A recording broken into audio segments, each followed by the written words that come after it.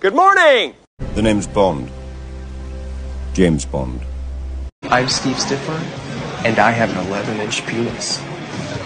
Around. What's 9 plus 10? 21. You stupid. Oh, no, she didn't! Yes! That's awesome! What? You just took one in the jugular, man! Otherwise it's curtains. We evaporate. We Dost thou comprehend? I dreamed a dream in time gone by. Is this real life? I, I poop at parties. I poop at parties, but people don't know because I close the door.